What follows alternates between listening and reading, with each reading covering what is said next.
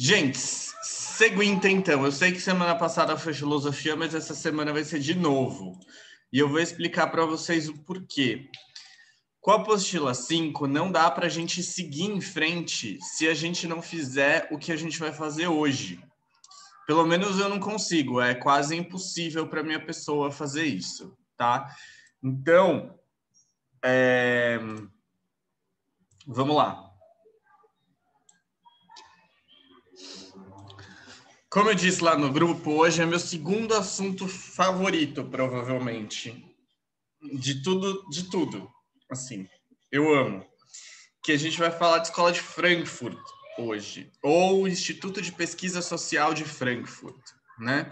É, eu coloquei aí para vocês essa imagem porque eu acho que ela expressa bem é, a escola de Frankfurt e o que a escola de Frankfurt está trazendo, o que, que ela está falando e tudo mais. Primeira coisa, eu quero que vocês olhem bem para essa imagem. Eu acho que a primeira coisa que vai vir na cabeça de vocês é a Marilyn Monroe, ou o Mickey ali embaixo, ou a Coca-Cola, ou o Andy Warhol. É bem disso mesmo que a gente vai falar. Então, aqui, que fique claro, chegamos ao século XX. Olha só que coisa incrível. Chegamos a, a, a, um século que não está tão longe da gente. Então, a gente vai falar muito é, do que aconteceu no século XX. E aí, para a gente começar, eu quero dar um panorama histórico para vocês. Panorama histórico, século XX. Século XX foi um século um pouco conturbado, diria eu. Né? Não sei se vocês concordam comigo, mas tudo bem que a gente está ganhando agora na, na segunda, no início da segunda década do século XXI, mas o século XX também foi um, um período um tanto quanto conturbado. Vejam só vocês que no século XX a gente teve a consolidação do capitalismo como o sistema político e econômico mundial, né? Uh, a gente teve duas guerras mundiais, a gente teve nazismo, a gente teve fascismo, a gente teve Guerra Fria, a gente teve a bomba, bomba atômica, a gente teve revolução digital, a gente teve a internet, a gente teve o computador, a gente teve o celular, a gente teve, enfim, um boom populacional imenso. A gente teve uma porrada de coisas aí e o século XX foi um século bastante louco, né? Isso vai refletir nos pensadores do século XX.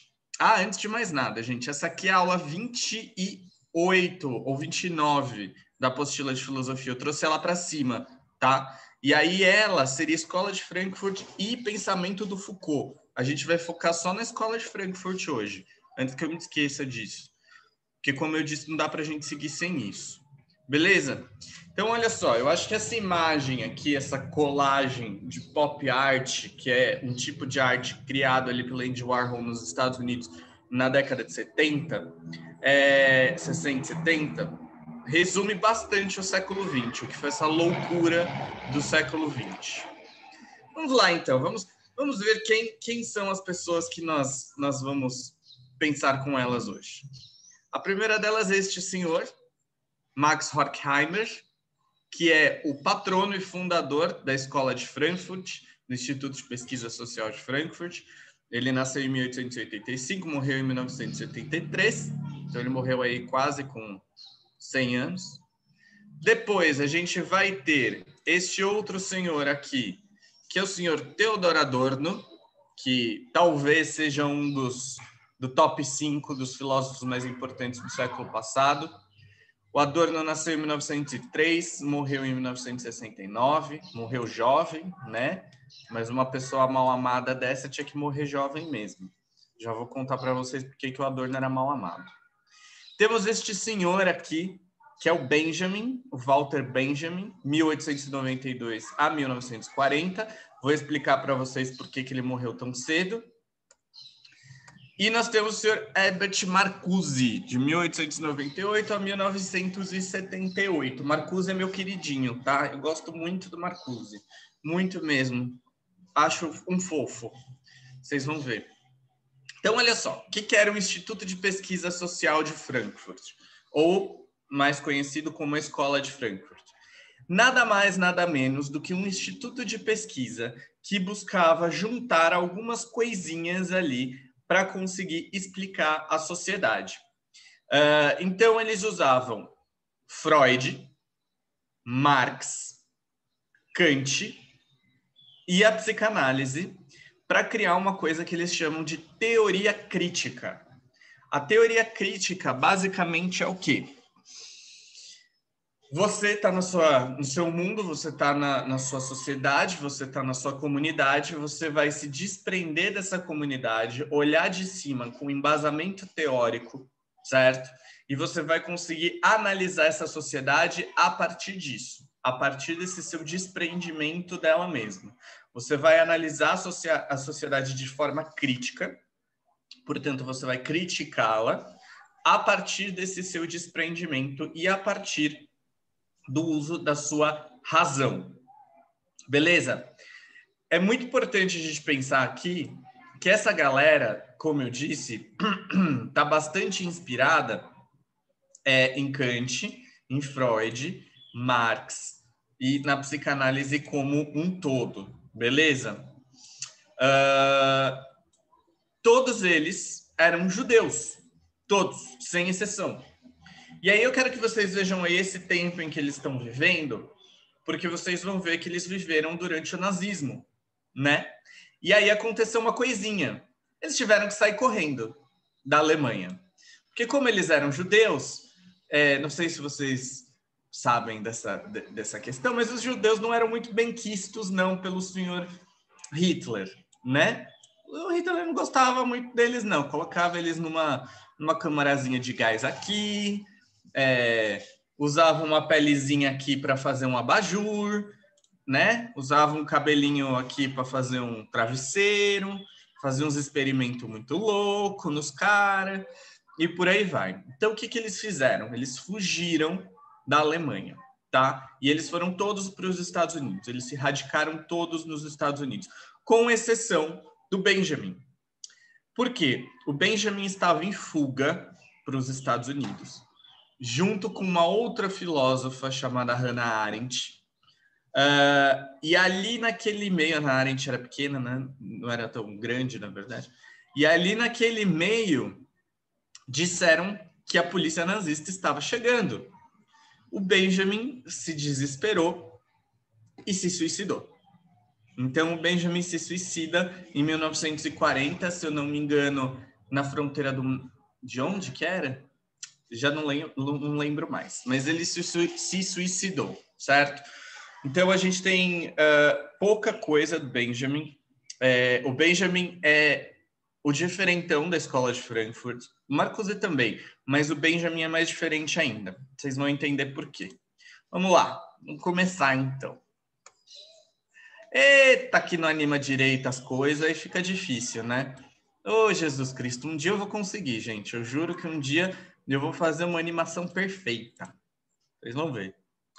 Olha só, a gente vai com, começar pensando aqui nessa nesse livrinho que se chama uh, Dialética do Esclarecimento que eu tenho aqui comigo, que é um livro muito bem querido, muito querido meu, que tá bem usadinho já, o coitado já tá todo riscado. Eu comprei ele no meu primeiro ano da faculdade, mas eu amo esse livro. É, e eu amo esse livro porque eu acho que ele é um livro bastante importante. Vamos ver. Ele é movido pela seguinte pergunta: Como o nazismo foi possível? Então, essa galera ali está se perguntando isso, né? É, esses filósofos do século XX, eles fugiram e eles estão ali se questionando como o nazismo foi possível. Como foi possível que as pessoas elas uh, aceitassem o nazismo na Alemanha? Como foi possível que as pessoas não dissessem que aquilo era uma loucura e não impedissem o Hitler de fazer tudo o que ele fez? Essa é a questão motivadora desse livro. Esse livro ele está dividido em dois, na verdade, na dialética do esclarecimento e na indústria cultural, que é um texto só do Adorno, tá? É, a dialética do esclarecimento é do Adorno e do Horkheimer, é dos dois juntos. A indústria cultural é só do Adorno. A gente vai ver um pouco da indústria cultural também daqui a pouco. Ah, ok, então vamos lá. Primeira coisa, lembra que eu disse que eles estavam baseados em é, Bia, é, na, na verdade, não. É Educação após Auschwitz, que ele se pergunta isso, que é um texto bem da hora também. Uh, olha só. Eles estão baseados no Kant. Lembrando que o Kant é um iluminista alemão, né? E aí o Kant teve aquele, aquele textinho que eu falei com vocês, que é resposta à pergunta o que é o esclarecimento, o Aufklärung, né? Uh, como é possível as pessoas se esclarecerem? Aí o Kant dizia que você tinha que sair da sua menoridade, portanto, você pensar sob o jugo dos outros, né? Os outros te levam a pensar alguma coisa e uh, você teria que passar para sua maioridade intelectual, que é quando você pensa por si mesmo, você desenvolve a sua autonomia. Para eles, para o Adorno e para o Horkheimer, e eles são dois filósofos pessimistas, falhou. O projeto iluminista falhou.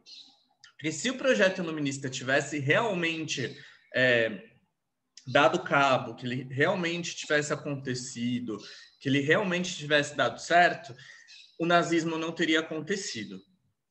Quando o projeto iluminista falha, a gente tem a criação de uma razão instrumental, que já dei spoiler ali, porque eu sou um péssimo animador, mas vamos lá.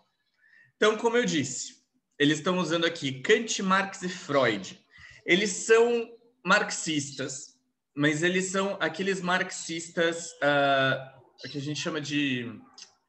Como é que eu posso colocar isso de uma forma não pejorativa? É, sabe a esquerda caviar?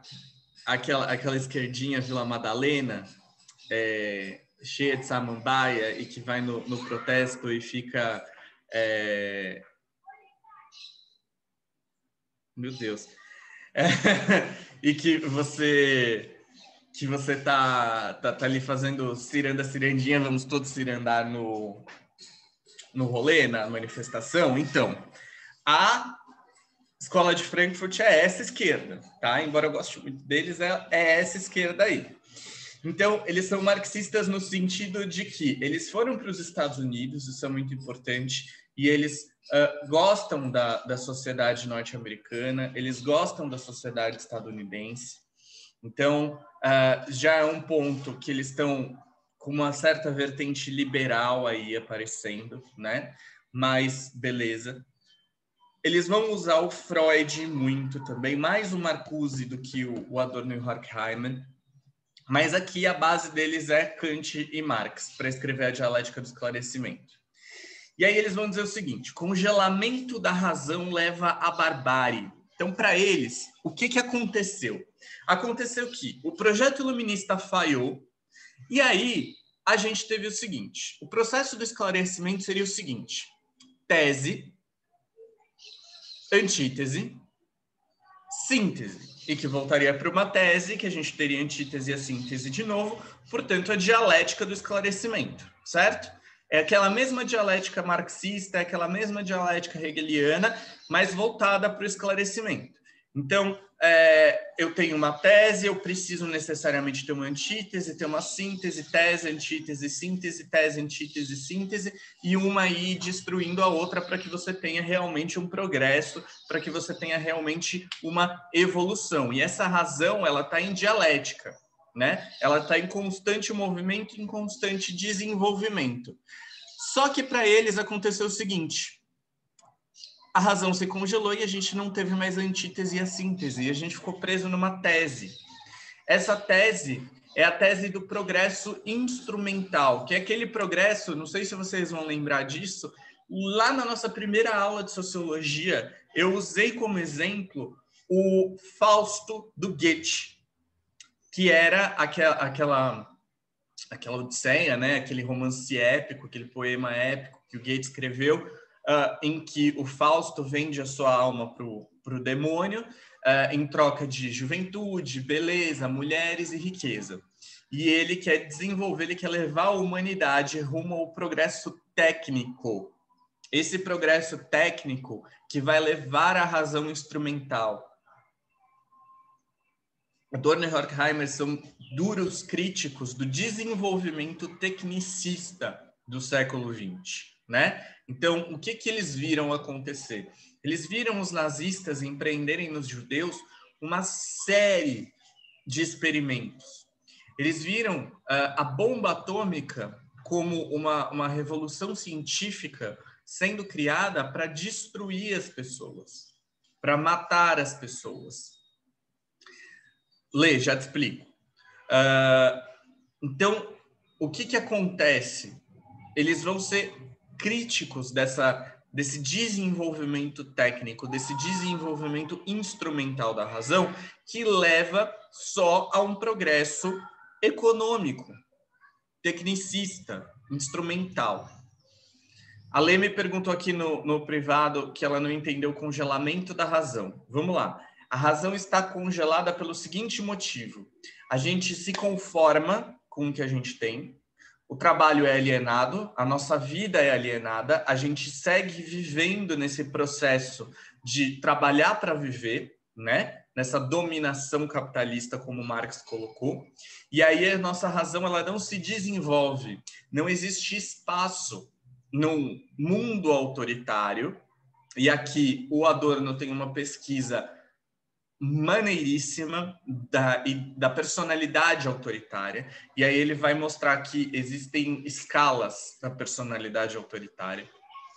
E a gente, todos nós estamos dentro de uma escala de personalidade autoritária, né? Uh, dentro desse mundo autoritário, não é possível o desenvolvimento, a dialética da razão, a dialética do esclarecimento. Então, você fica parado em que eu preciso trabalhar para sobreviver para consumir, eu preciso trabalhar para sobreviver para consumir, eu preciso trabalhar para sobreviver para consumir. E é isso. Eu não sei se eu contei para vocês já o mito de Sísifo, do Camus. Lê, já te passo a palavra, pode ser que isso esclareça melhor. Uh, o Albert Camus também é um filósofo do século XX, ele é um filósofo uh, nihilista, né? Uh, e o Camus ele vai contar o mito de Sísifo, que é basicamente o seguinte: Sísifo se apaixonou pela filha do deus Ares uh, e eles fugiram juntos. O Ares ficou muito puto e puniu o Sísifo. A punição do Sísifo era que todos os dias ele tinha que rolar para o alto de uma montanha uma pedra. Quando chegasse no alto da montanha, a pedra desce e o Sísifo tem que voltar para fazer isso é o trabalho alienado, não tem motivo nenhum. O Sísifo podia pegar as coisas dele e sair andando e largar a pedra ali rolando ou largar a pedra ali parada. Só que não, só que todos os dias ele vai lá e faz o mesmo esforço sem qualquer motivo, só por medo, só porque ele acredita que ele precisa. Ou seja, ele não consegue pensar criticamente. E é isso que para o Adorno e para o Horkheimer acontece com a sociedade do século XX. Lê. Diga. Odi, esclareceu bastante é, quando você falou do mito de Sísifo, só que eu queria saber se faz sentido pensar nisso daí em questão, vai, por exemplo, de guerras, que o congelamento também pode levar a guerras ou ataques, enfim. Sim. Sim, porque uh, a guerra nada mais é do que um resultado desse desenvolvimento da razão instrumental, desse progresso técnico-científico, desse progresso capitalista e econômico. O capital gera guerra, tá? Então, por exemplo, a gente pode pegar como exemplo aí a guerra contra o terror nos Estados Unidos, a guerra contra o terrorismo nos Estados Unidos, né? Então, você tem aí muitos pensadores que defendem que, na verdade, essa guerra contra o terror não é uma guerra contra o terrorismo, né? É uma guerra econômica, é uma guerra por petróleo, é uma guerra por, uh, por terra, é uma guerra cultural, é uma guerra religiosa. Então, é uma guerra que tende em satisfazer uh, interesses de uma comunidade muito própria, de uma comunidade muito fechada, que tende a uma ideia de progresso ocidental, civilizatório e por aí vai, que é a ideia de progresso estadunidense. Então, a guerra seria realmente uma, um resultado disso. Daí o congelamento da razão leva à barbárie. Né? O que, que é a barbárie? A barbárie é a guerra, a barbárie é a fome, a barbárie é, enfim, uma série de é a corrupção, é uma porrada de coisas, né? Então, uh, tudo isso levaria a essas consequências, tá? Tá bom, Di, obrigada. Nada. Deixa eu ler o que o Glaucio me escreveu aqui. Uhum. Isso. Olha só. Aí, Glaucio, eu já usaria a Hannah Arendt para explicar isso daí. O Glaucio colocou aqui como a gente se acostuma com a barbárie em São Paulo e no Rio, a violência, e como a gente uh, aceita os governos fazendo ações que, na verdade, não transformam, não diminuem a violência, são paliativos e que geram mais violência, né? Uh, geralmente, a ação dos governos estaduais do Rio e de São Paulo são violentas e, portanto, geram mais violenta, violência para combater a violência. Né? Essa é a razão instrumental. Agora, se a gente fosse pensar nessa, nesse costume, eu usaria Hannah Arendt o, o, o conceito dela de banalidade do mal. O mal se tornou banal e a gente aceita isso. Mas vamos, não vou entrar nisso daí. Alguém tem mais alguma dúvida sobre isso, sobre essa dialética do esclarecimento? É, professor, Fala. O que que levou na Alemanha, assim, ter essa falha do projeto iluminista? Tipo, tem algum momento histórico que eles apontaram algo do tipo? Tem. A história alemã é uma história bastante complexa, né, David? Se você pensa lá no Tratado de Versalhes, né? Uh, eles vão lá. É Versalhes, né, gente? Espero que eu não esteja falando bosta. Faz tempo que eu não, não falo disso. Mas eles vão lá e assinam uh, o tratado eles admitem toda a culpa da Primeira Guerra Mundial. E aí eles são limitados a uma série de coisas. Portanto, eh, a inflação deles vai lá para cima, eles precisam trabalhar para sobreviver, não existe uh, lazer naquela sociedade. Existe constantemente um discurso que alimenta o ódio, que gera o ódio pelo resto da Europa, que está bem né, que está se recuperando, que saiu de uma guerra com seus problemas, mas é a Alemanha que está pagando aquilo tudo.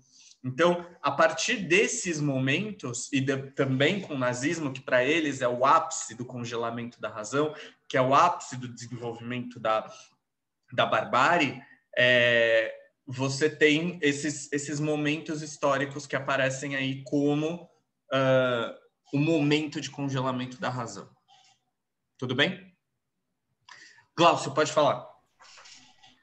Uh, eu acho que a gente concentra muito a nossa visão da Alemanha né, na, na, na participação como manifestação do, do, do, poder do Estado como ação contra o cidadão e o controle total, né, por conta do nazismo. Mas a, a, uma coisa que eu acho legal é que se o nazismo não fosse visto na Alemanha, ele seria visto em outro lugar. Porque é, uma série de fatos complexos que antecedem, como você citou, na Primeira Guerra, o próprio imperialismo mesmo, ele concentrava um monte de atos similares em nações próximas. A Rússia, por exemplo, teve um tipo de holocausto. Os aliados, durante é, tanto a Primeira quanto a Segunda Guerra, eles mataram gente inocente, óbvio, na Segunda Guerra muito mais. Ah, eu acho que no caso da Alemanha é mais evidente, principalmente porque a Alemanha, é, entre a, a final da, da Primeira Guerra e a Segunda Guerra, obviamente como Estado ela tinha pesados encargos por conta da derrota, mas além disso ela tinha uma, uma ferramenta muito prática que ela dominava muito bem, que era a comunicação. Então, para desgraça do próprio governo alemão nazista, eles registravam tudo. Então não é que os alemães eles foram, é, na minha opinião, óbvio que eu não sou um expert, mas é, não é que os alemães eles foram os, os malvados, super malvados. Eles eram coisas inimagináveis coisas horríveis. A diferença é que no caso dos alemães eles registravam isso e isso se tornou público principalmente depois do fim da Segunda Guerra. E como toda história precisa de um lado vencedor e um perdedor, a gente precisa também é, mostrar isso. Né? O próprio o próprio Goebbels mesmo, ele dominava com excelência a arte da propaganda. Toda a propaganda moderna hoje, como vocês veem, ela tem rastro traços da época do nazismo. E não é à toa, é porque eram linguagens de comunicação que funcionavam muito bem. E explica também, principalmente, como o povo, o governo alemão conseguiu é, colocar os ideais nazistas e manipular o povo alemão a apoiar um projeto tão violento e sanguinário. Perfeito. A comunicação é pra, exatamente para onde a gente vai agora, né? É, que é como o Adorno segue o pensamento dele sozinho com a indústria cultural, como um processo de mistificação das massas. A indústria cultural é um texto que ele, ele assim, eu já li e reli ele, acho que, sei lá, umas dez vezes durante aí os últimos dez anos. É, pelo menos uma vez por ano eu volto a ler esse texto, porque ele é um texto muito atual. Ele é um texto que ele, ele fala muito da gente hoje, né? Ele fala muito da nossa história. Como o Glaucio disse, a gente tem esses resquícios muito fortes. A gente tem esses resquícios fortíssimos da propaganda do, do Goebbels, Goebbels, é, da Alemanha, do nazismo. A gente continua tendo isso. E a propaganda estadunidense, ela é pioneira em pegar traços da propaganda nazista para usar no seu momento do American Dream, do American Way of Life, os anos 60, quando você tem um boom de consumo nos Estados Unidos, né? Você tem um boom, é, você pega, por exemplo, as propagandas de eletrodomésticos, que estão ali mostrando qual é a função da mulher, qual é a, mulher perfeita, e por aí vai. Então, a indústria cultural ela vai surgir aqui como um processo de mistificação das massas, ou seja, congelou a crítica, a gente vai voltar para um processo em que a gente explica as coisas a partir de fantasia, a partir de mitos. A gente volta, a gente retorna para a Grécia Antiga, de acordo com Adorno. A, no a nossa razão, ela retorna para a Grécia Antiga. Ela não está preocupada em problematizar as coisas, ela não está preocupada em explicar as coisas por meio da razão, por meio da ciência, por meio do esclarecimento. Ela está preocupada com uma série de outras coisas. Ela está preocupada com o consumo.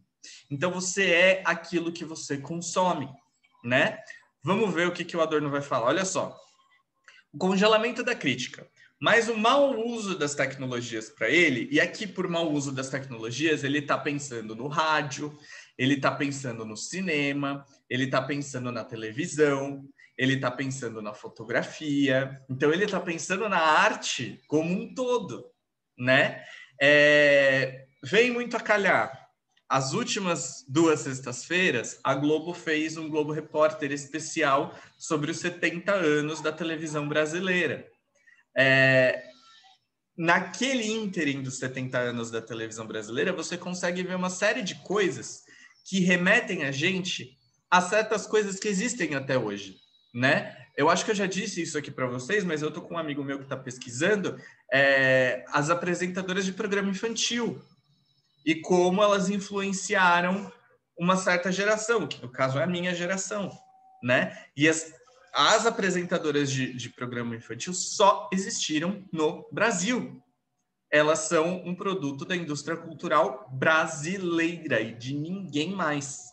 É muito interessante a gente pensar nisso. Então, olha só, vai haver uma deturpação da arte para o Adorno. Vejam só, indústria é aquilo que produz, então produz em massa. Está sendo produzido cultura em massa, né? E essa cultura em massa não vem com a reflexão que a arte erudita deveria ter. Para o Adorno, esse, esse tipo de arte que está sendo produzida é um tipo de arte baixa, é um tipo de arte popular. Então, a cultura popular né, que a gente entende hoje, ela é produzida em massa e sem nenhum nível de reflexão, sem nenhum nível de esclarecimento, sem nenhum nível de crítica. Ela é voltada única e exclusivamente para o consumo, para o lucro. É, olha, eu coloquei duas vezes, beleza? Ela é voltada única e exclusivamente para o lucro, para o consumo e para a produção em massa de ideologia dominante. Então a gente vai passar a usar as roupas que eles querem, a gente vai passar a comer aquilo que eles querem, a gente vai passar a, a, a, a sei lá, assistir aquilo que eles querem, a gente vai passar a pensar aquilo que eles querem. Então a gente volta para aquele processo de menoridade do Kant. A gente não está mais na nossa maioridade. A gente voltou, a dialética deixou de acontecer e agora a gente volta a explicar as coisas por mitos. Só que os nossos mitos hoje são a televisão, a internet, o cinema, e a gente passa a querer viver vidas daquele jeito. Então, Daí eu digo que uh, os Estados Unidos foram mestres em pegar traços da propaganda nazista e eles expandiram o American Way of Life para o mundo. Nosso sonho é viver como um norte-americano, né? O nosso sonho é querer ter aquelas grandes casas, o nosso sonho é querer ter todos aqueles eletrodomésticos, é ter toda aquela decoração maravilhosa, é usar aquelas roupas e por aí vai.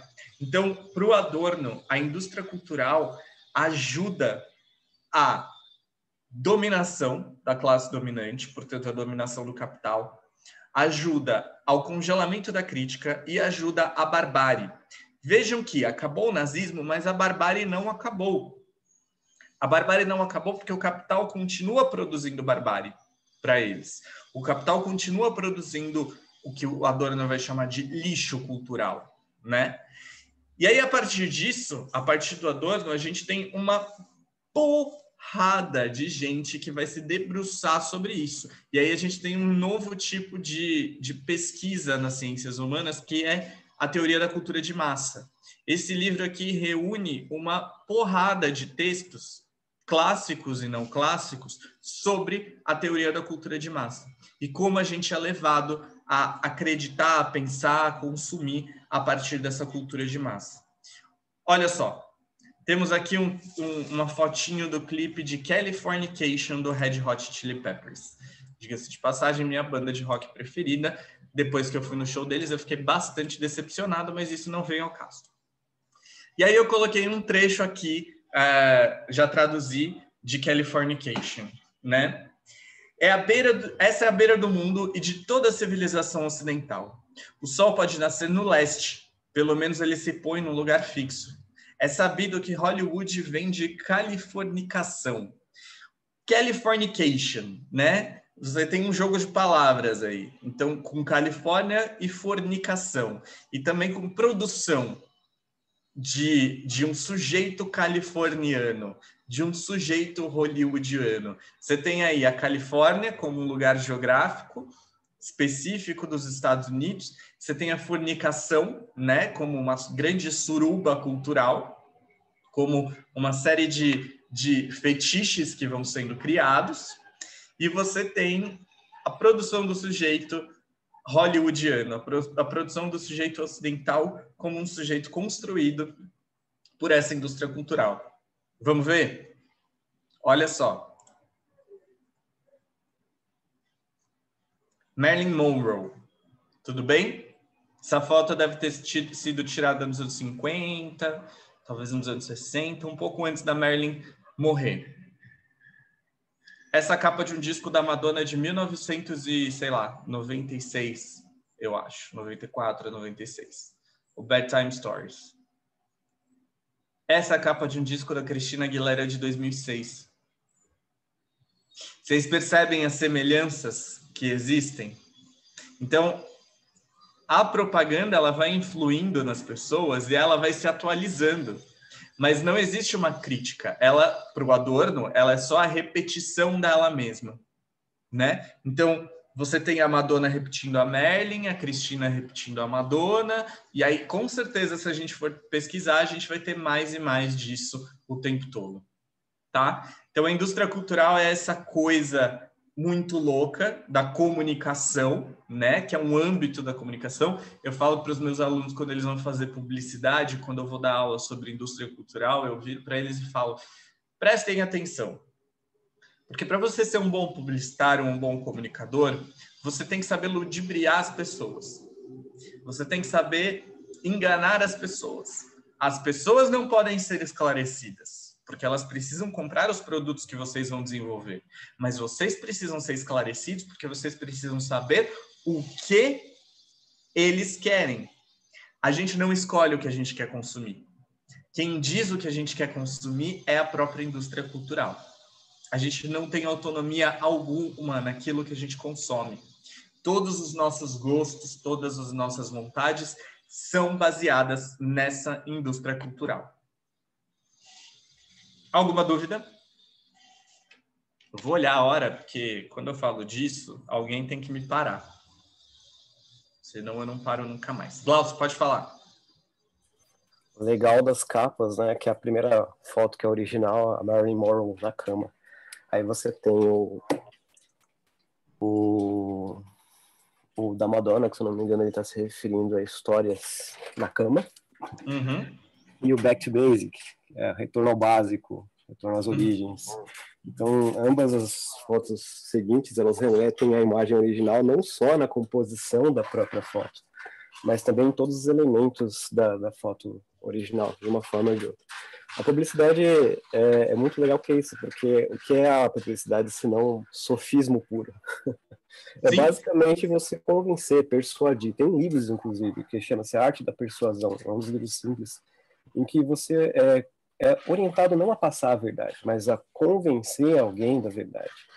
E basicamente, quando você vê, uh, não, isso não é só no, no, nazismo, mas em todos os governos posteriores, em todo tipo de regime também, é, empresas, você vê que você tem isso, é a venda de uma, um conceito, de, uma, de um ideal, de uma proposta que não necessariamente condiz com o fato. Exatamente. Você precisa, uh, no caso aqui, convencer as pessoas a ouvirem a sua música. E aí eu vou dizer para vocês que não é só no nome do álbum, não é só na foto, mas é na sonoridade também. Ambos os álbuns, tanto da Madonna quanto da Cristina, eles estão baseados no, numa sonoridade dos anos 40 e 50, do jazz e do blues dos anos 40 e 50. Então não é por acaso, vocês percebem? Tudo tem um porquê de estar ali. Alguma dúvida? Algum comentário? Alguma angústia? Vocês estão se sentindo enganados, presos? Vocês vão olhar para as coisas que vocês têm e vão falar: Meu Deus, eu não escolhi nada disso. Hum. Vamos lá. Vamos dar uma amenizada nisso tudo com o Walter Benjamin, nesse ensaio que ele escreveu, que tem duas versões. Uma é de 32, a outra eu não me lembro. Deixa eu ver se tem aqui. Mas que se chama a obra de arte na era de sua reprodutibilidade técnica. É grande, né? Bem grande o, o, o, título desse texto. A obra de arte na era de sua reprodutibilidade técnica. O próprio título já diz bastante, né? Então ele vai falar sobre a obra de arte num tempo específico, que é da reprodutibilidade técnica. Então aqui ainda estamos falando de técnica. Vamos lá. Benjamin vai dizer que a obra de arte original ela possui uma aura, algo de original, o aqui e agora daquela obra, que é uma coisa que se você for até o Museu do Louvre ver a Mona Lisa, a sua sensação vendo a Mona Lisa vai ser uma no Museu do Louvre. Se eu abrir uma foto da Mona Lisa aqui agora para vocês, a sensação vai ser outra, porque não existe a aura, não existe o aqui e agora. Para o Benjamin, a gente perde a aura conforme a gente vai reproduzindo as coisas. É... Olha só, que interessante. As tecnologias de reprodução, e aqui ele vai falar de estilogravura, ele vai falar de uma porrada de coisas é, que, que, reproduziam a arte em vários períodos históricos, uh, e inclusive o único, o último é, tópico do, do texto é o camundongo Mickey, quando ele vai começar a falar do Mickey. Mas vamos ver. A obra de arte, quando ela é copiada, cada vez que ela é copiada, é tipo uma xerox, que vai ficando mais apagada. Ela vai perdendo um pouco da sua aura, né? Só que isso tem um lado positivo. Essas tecnologias de reprodução para o Walter Benjamin vão levar essas obras para pessoas que não poderiam ter acesso a elas. Então, vai levar essas obras que têm aquele seu valor crítico, que o Adorno diz que a cultura de massa não tem, mas que vai levar isso para uma série de outras pessoas, para o proletariado, lembrando que, como os outros, o Benjamin também é um marxista. E ele também está pensando justamente nesse processo de libertação do proletariado, da classe proletária. Para que a classe proletária seja liberta, é preciso que ela tenha contato com as artes. A arte é a libertação dos homens. A arte é a grande coisa que vai fazer com que a gente consiga é, fruir das coisas, que a gente tenha fruição do mundo, dos prazeres e tudo mais. E o capital, ele, por um lado, mata a arte e, por outro, ele distribui a arte. Então, para o Benjamin, a indústria cultural não seria de todo ruim, como é para o Adorno. Para o Benjamin, a indústria cultural seria uma coisa até que positiva. Se vocês entrarem agora no Google e procurarem passeio virtual pelo Louvre, pelo Museu do Louvre, vocês conseguem visitar o Museu do Louvre inteiro vocês têm a oportunidade de visitar tudo, de ver todas as obras de arte. Vocês conseguem ver a Capela Sistina online hoje. Então, uma pessoa que não tem dinheiro para pegar um avião, ir até Paris, ir até Roma, para ver essas obras de arte, ela pode abrir o celular dela, ou ela pode abrir o computador dela, ou ela pode pegar uma revista e ela pode ver essas obras de arte. Só que para o Benjamin é necessário que você tenha aquela coisa da crítica, que você tenha a razão se desenvolvendo, certo? Olha só, a gente tem aí uma representação da Mona Lisa, alguém fazendo uma série de cópias e várias versões da Mona Lisa que vão se transformando. Isso é um outro ponto. Você pode dar o seu toque naquilo, né? Então, mesma coisa, se a gente quiser, a gente volta para cá. É a mesma coisa. É a reprodutibilidade técnica da obra de arte. Então, a gente vai ter a Merlin, que vai gerar a Cristina, que vai gerar desculpa, que vai gerar Madonna, que vai gerar Cristina, que vai gerar outra pessoa, que vai gerar outra pessoa e vai voltar para Merlin. E isso vai continuar gerando e as pessoas vão conhecendo referências. As pessoas vão se referenciando na obra de arte. Percebam que aqui o Benjamin não está tratando como publicidade, da mesma forma que o Adorno tá, trata.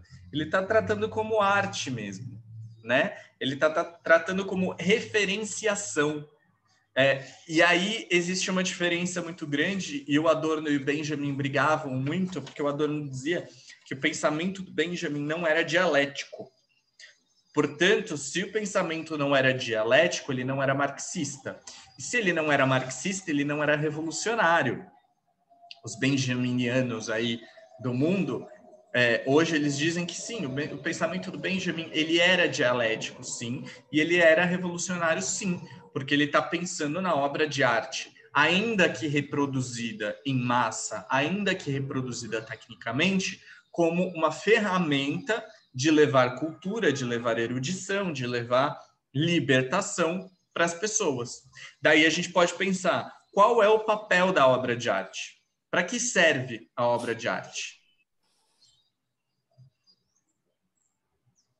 Uma pergunta: para que serve a obra de arte?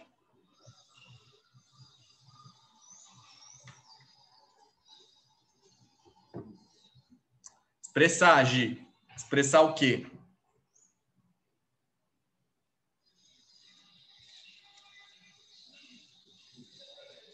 Tudo. Sentimento. Tudo, tudo. A obra de arte ela deveria servir para expressar todas as coisas, mas ela também serve para expressar algumas coisas que talvez não fossem tão legais de serem expressas. Como eu disse para vocês, o último trecho do. Já te deixo falar, Glaucio. O último trecho do texto do, do Benjamin se chama o Camundongo Mickey, né? Então, o Benjamin, ele não viu uh, a grande... Na verdade, ele viu a grande explosão do Walt Disney em 1937 com a Branca de Neve e Sete Anões. A Branca de Neve e os Sete Anões, ela tá levando uma ideia para as crianças. Ela tá levando uma ideia de mulher, ela tá levando uma ideia de inocência, ela está levando uma série de ideias, né? Da mesma forma, o Mickey aparece como a, a reprodução ou a produção, uma representação da reprodução da obra de arte, como a obra de arte reproduzida de forma massificada, né? Uh, Glaucio, pode falar. Ah, legal, aqui na, casando um pouco da, da, das aulas com história, você vê principalmente nas, nas aulas relacionadas à, à Revolução Francesa, você vê um quadro bem clássico que é conhecido de uma mulher com seios à mostra, né? É, com uma bandeira todo mundo cercando ela e ela com uma posição de vamos em frente, sigamos em frente. Aquela mulher ela denota a, liber, a liberdade, o sentimento nacionalista e a liberdade que o povo francês ansiava na, na época. Então, a arte, ela expressa sentimentos, mas ela também, ela, ela não é feita só para expressar sentimentos, mas também para fazer sentir. Porque quando você pega uma obra de arte hoje, mesmo você não tendo participado do evento, do ato, enfim, você consegue sentir aquilo através dos gestos. O barroco faz muito isso também. Utiliza toda a composição da, da obra de arte para fazer sentir, para te fazer não só vender uma ideia, mas um sentimento. O legal disso tudo é também a crítica da produção em massa da cultura pop art, que foi um movimento ali que você pega ali, o Andy Warhol mesmo. É um pessoal que, ele, que eles pegavam obras intensamente é, populares e reproduziam de maneiras diferentes, de maneira não só a, a, fazer sentir, mas também a criticar o próprio uso extensivo e, e, e cansado dos mesmos símbolos artísticos. Sim, exatamente. Então, o, o Warhol, por exemplo, vai reproduzir o Che Guevara né? Ele vai transformar o Che Guevara, que era um símbolo do comunismo naquele momento, num, numa obra de arte e que ele vai vender.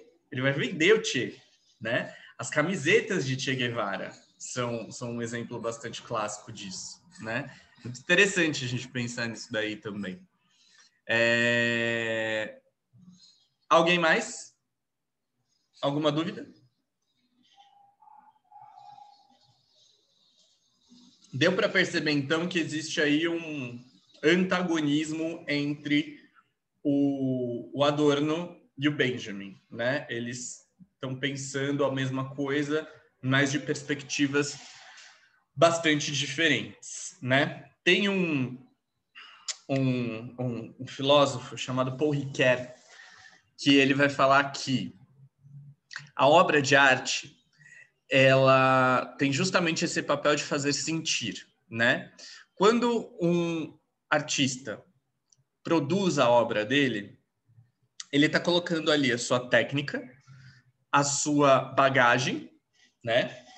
A sua história enquanto sujeito e uma intencionalidade. A gente pode analisar essa intencionalidade, mas quando eu, que vou ver a obra de arte, vou ouvir, vou sei lá, né? Fruir daquela obra de arte. Quando eu me deparo com aquilo, também existe a minha bagagem por trás daquilo. Então, não necessariamente eu vou entender exatamente o que o autor colocou naquela obra de arte. Por exemplo, eu fui fazer um curso no MASP há uns anos atrás, acho que faz uns dois, três anos, que ele era sobre a, a história do feminino a partir do acervo do MASP. Então lá a gente foi analisar o acervo fixo do MASP, aí a gente tem uma série de, de pinturas de épocas diferentes, e aí a gente vai ver, por exemplo, uma pintura de um período que é o período da Revolução Francesa, como o Glaucio trouxe aqui. Então é um período liberal, né, que você tem as posses das terras e tudo mais. E aí você vai vendo como é interessante. Você tem uma pintura, eu não me lembro qual é a pintura, não me lembro de quem é, mas você tem uh, as crianças, né? Que são as herdeiras daquela, daquela terra que está ao fundo. Você consegue ver a vastidão daquelas terras verdes, prósperas e tudo mais. E aí você tem sempre um menino em pé, maior do que as meninas, e as meninas sentadas embaixo dos meninos, né? Então, olha só o que, que essa obra de arte está querendo passar. Quando eu vou ver essa obra de arte com a perspectiva de um curso que quer mostrar o feminino no acervo do MASP, eu vou ver ela de uma forma. Se eu vou lá como um simples observador, uma pessoa que está indo ver o acervo do MASP, sem isso por trás, eu vou ver de uma outra forma. Né? Eu posso ter outras interpretações. Então, daí a obra de arte como uma vastidão de interpretações muito loucas e enormes. Uh, tudo bem? Seguimos. Ah, agora a gente vai entrar no meu queridinho Marcuse. Eros e Civilização. Interpretação filosófica do pensamento de Freud. Fala, David, pode falar, meu amor.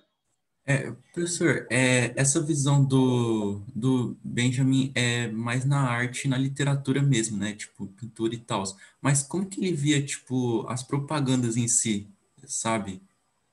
É, ele, não, ele não se debruçou sobre as propagandas. Ele tinha um certo medo das propagandas por causa do nazismo, que é aquilo que a gente já disse, né? O, o Hitler, por exemplo, eu não sei se vocês já assistiram, um exemplo bem bestinha, mas vale o Menino do Pijama Listrado, que tem um momento no filme em que eles mostram um vídeo que está sendo produzido é, do campo de concentração e que é um vídeo onde os judeus podem viver alegremente, felizes e vai dar tudo certo. É uma colônia de férias para os judeus, né? Nesse vídeo que o governo nazista produziu. E ele passava esses vídeos nos cinemas, nos intervalos. Então, perceba que existe um convencimento né, do povo alemão de que aquilo estava acontecendo. Da mesma forma que, sei lá, não, hoje é muito mais difícil de você fazer alguma coisa do tipo. Eu ia usar um exemplo aqui, mas eu vou deixar quieto. Uh, mas ele tinha um certo medo, um certo receio da propaganda, né? É, é isso. Ele não se debruça tão fortemente como o Adorno se debruçou sobre a propaganda tá? Outra coisa importante para o Benjamin vai ser a fotografia. Ele tem uns textos bastante bastante interessantes sobre a fotografia. Exatamente, Bia, exatamente como isso. Não era exatamente o exemplo que eu ia usar, mas serve, cai como uma luva. Agrotech, o agro é pop, o agro é tudo. A Rede Globo com você. Ah, então vamos lá. Marcuse, Eros e Civilização. Olha só, o Marcuse aqui ele vai estar, como já diz o subtítulo do livro, bastante. Uh, é exatamente, Glaucio. É, bastante focado no Freud, certo? Para ele, o grande problema do século XX vai ser a repressão sexual, que vai equivaler à repressão do capitalismo. E ele vai chamar isso de mais repressão. Vamos ver isso mais profundamente daqui a pouco. Para o Freud, o processo de sublimação do trabalho é voltado para as energias sexuais. Na verdade, é o contrário, tá? A frase ficou mal construída. A sua energia sexual ela é sublimada para o trabalho. Então, é, eu não posso gastar minha energia sexual, eu não posso gastar as minhas pulsões sexuais, porque eu preciso trabalhar. Então, toda a minha energia que seria voltada para o sexo, que seria voltada para eros, para o prazer, ela é voltada para o trabalho no capitalismo. Isso está no livro do Freud chamado Mal-Estar na, na Civilização, que é um dos meus livros preferidos da vida. Maravilhoso. Uh, isso vai gerar uma sociedade unidimensional, que é a prevalência de Thanatos. Thanatos é um deus da, do, do, da, da mitologia grega, que é o deus da morte né? Lembrando que Hades é o deus do mundo dos mortos e que um dos seus parceiros é Thanatos, que é o deus da morte. Assistam a saga de Hades e Cavaleiros do Zodíaco, que isso fica muito claro ali. É... Então, Thanatos é o deus da morte. Então, para o Marcuse, a gente vai ter impulsos de vida e impulsos de morte. Impulsos de Eros, que significa vida, além de prazer, além de amor, né? E de Thanatos, que é a morte. Então a gente tem uma guerra constante de Eros e Thanatos. Pulsões de vida e pulsões de morte, como eu já disse, Eros deve prevalecer. E isso vai inspirar muito a revolução sexual dos anos 70. E aqui eu quero que vocês pensem em Woodstock, eu quero que vocês pensem nos hippies, né? Eu quero que vocês pensem naquele filme Hair. É uma série de coisas que vão, vão aparecer e que vão inspirar aí maior aluna do senhor Herbert Marcuse, continua viva, que é a senhora Angela Davis, certo? É, então, Angela Davis, feminista negra, marxista e tudo mais, uh, era a cabeça dos Panteras Negras no, nos Estados Unidos, da, do feminismo negro também. Então, tem uma coisa incrível aí no Marcuse que a gente vai ver. Mas antes da gente ver o Marcuse, a gente precisa entender um pouco do Freud, certo? Então eu vou dar uma passada no Freud com vocês aqui. O Freud é um mundo. É, tem gente que dedica a vida para estudar Freud. Freud é uma coisa assim, na minha humilde opinião, incrível. Eu gosto muito de Freud. Tenho minhas críticas, mas gosto muito de Freud. Mas vamos lá. Olha só, o Freud vai dizer que o nosso consciente e o nosso inconsciente ele pode ser dividido em três etapas. A primeira dessas etapas é o id, id, como vocês quiserem chamar. O id, ele é o mais profundo do nosso inconsciente. O id nada mais é do que os nossos instintos e pulsões, e que o Freud vai teorizar num princípio de prazer. O Freud vai pensar também o desenvolvimento do ser humano a passagem da infância para a idade adulta. Vejam só, é, quando a gente tem, uh, quando a gente é criança, quando a gente é bebê, a gente não tem o que o Freud vai chamar de princípio de realidade. A gente tem, eu já citei isso com vocês, uma noção de um sentimento oceânico, certo? Então, de que nós somos parte do todo. Uh, eu choro e a minha mãe aparece com um peito para me alimentar. E eu sinto prazer naquilo, eu beber, né?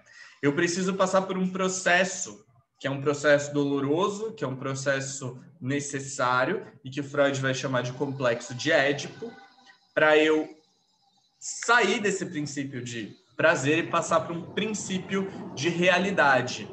Ou seja, eu vou ter a construção do meu ego, literalmente do meu eu, certo? O ego nada mais é aqui nesse lugar como algo que é formado a partir do id e tem como uma função adaptar o indivíduo à sociedade. É o princípio de realidade. Chorei, minha mãe não apareceu com um peito, eu tenho que comer. Eu tenho que comer de outra forma, eu tenho que me alimentar de outra forma princípio de realidade. O sentimento oceânico acaba, o princípio de prazer ele é suprimido pelo princípio de realidade. Eu preciso encarar o mundo, né? Eu preciso entender que minha mãe não é minha, mas do meu pai, né? E aí, tudo bem, machista, complexo de Édipo, mas é isso que o Freud está falando. A minha mãe não pertence a mim. Eu vou ter que, então, encarar a realidade para encontrar alguém como a minha mãe no caso das meninas, encontrar alguém como meu pai, certo? Então, complexo de Édipo aconteceu ali entre os 5 e 6 anos. Chegou nos 6 anos, a criança começa a ter um, um, um início de uh, autonomia. Então, o princípio de realidade aparece aí muito forte. A gente vai ter um lugar intermediário, que é o superego. O superego é um chato tá? O superego é, é, é, aquele cara chato que fica te dizendo o que, que você pode e o que, que você não pode fazer. O superego, ele pressiona a criança, pressiona o ego na adaptação à realidade. O Freud vai chamar o superego de reacionário, certo? É esse o termo que ele vai usar, reacionário. Ele vai te dizer e vai te impedir de fazer uma série de coisas. Superego nada mais é do que a própria moralidade. Então, vamos lá. Uh, um exemplo bem básico da criança. Quando eu sou criança, eu sou curioso, né? Então, eu quero uh, ver as coisas. Eu tenho, por exemplo, a fase oral, que é a fase que a criança coloca tudo na boca. Ela conhece o mundo exterior a partir da boca. Ou eu, criança, olho uma tomada e eu quero meter meu dedão na tomada. Eu meto meu dedão na tomada, o que, que acontece? Eu tomei um choque. Ou seja, o meu superego vai se desenvolver, o ego vai ser pressionado a ser adaptado a, a essa realidade. E aí eu já sei agora que eu não posso mais meter o meu dedão na tomada, porque se eu meter o meu dedão na tomada, eu vou tomar um choque. Isso não vai ser legal. Isso vai, a, vai acabar com a minha com a minha vida e por aí vai, não acabar com a minha vida, né? Mas isso vai interromper um pouco a minha vida. Eu posso morrer levando um choque, certo? Então a gente tem essas três fases do inconsciente: o id, o ego e o superego, tá? Uh, que vão para o Freud aí ser basilares para o desenvolvimento psíquico dos seres humanos. Freud, lembrando que ele é a terceira ferida narcísica da sociedade, quando a gente se, quando a gente se descobre no psíquico e não só no físico, né? Que a gente tem um mundo interior. Tudo bem? Alguma dúvida sobre o Freud? Ele acreditava que todos os indivíduos eram únicos, sim, Henrique. É... Daí a gente teria que entrar numa profundidade um pouco maior do Freud, mas sim, porque você tem cada um tem uma infância diferente da outra e a infância é o que vai definir o, o homem adulto, né? O sujeito adulto. Você precisa ter uma infância muito legal para você não ter grandes traumas que vão te levar a psicoses quando você for um adulto. A infância é essencial. Então, olha só, a gente vai ter no anime o princípio de realidade, que basicamente é aquele momento que a criança entende que ela é um sujeito no mundo e não um só com o todo, ou seja, acaba o sentimento oceânico, ela passa a ter de encarar a realidade do mundo como ele é dado. O Marcuse vai desenvolver e atualizar esse princípio de realidade para um princípio de desempenho. O princípio de desempenho ele é clássico do capitalismo e ele vai dizer basicamente o seguinte: para eu encarar o mundo real, é necessário que o sujeito se entenda como alguém produtivo, ou seja, alguém que encontra sua realização no trabalho, na sua produção e nesse trabalho que gera dinheiro, lucro, progresso e consumo. Então, é isso que o Marcuse vai chamar de mais repressão. Desculpa. E que ele está baseado aí no, na mais-valia do Marx, né? A mais-valia do Marx vai se transformar aqui no Marcuse em mais repressão. Aí, olha só, o Marcuse ele vai falar que a gente precisa dar um jeito de erotizar a sociedade. Aí eu coloquei todos esses corpos aí no, numa, numa avenida, na rua, para ilustrar isso um pouco, tá? Mas vamos ver. Olha só, quem é que vai levar essa revolução da erotização da sociedade? Uh, só aqueles que estão livres do princípio de desempenho. Quem são essas pessoas? Os artistas, os intelectuais, essas pessoas que a gente chama de espíritos livres, né? Então, é, eu como intelectual, eu poderia levar vocês à erotização da sociedade a erotização dos seus corpos, a fruição dos seus desejos, a fruição da sexualidade de vocês. E essa sexualidade múltipla, essa sexualidade que ela, é, ela não é uma coisa fechada, ela não é uma caixinha, porque aí para o Marcuse até a nosso, o nosso próprio sexo ele está voltado para o desempenho, para o princípio de desempenho, porque a gente transa para reproduzir e a gente não transa para sentir prazer, né? E para ele a gente precisa transar para sentir prazer, e a reprodução é uma consequência disso, ela pode acontecer ou não, mas o princípio é o prazer, né? E aí ele quer uma retomada para o princípio de prazer do Freud.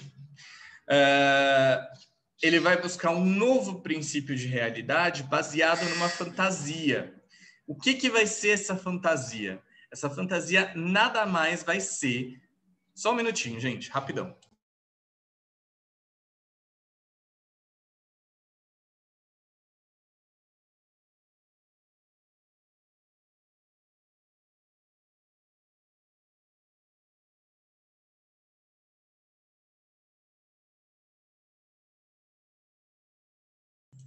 Voltei, desculpa. É... Então vamos lá. Essa fantasia, ela está baseada de novo aqui as artes aparecem. Então na literatura, no cinema, uh, na, enfim, em tudo que a gente pode pensar como arte, certo? Ela vai estar tá baseada nessa uh, a, a, literatura principalmente para Marcuse vai servir como base para a criação de uma nova realidade, né? A gente tem uma série de, de autores aí, de teóricos que trabalham nesse sentido.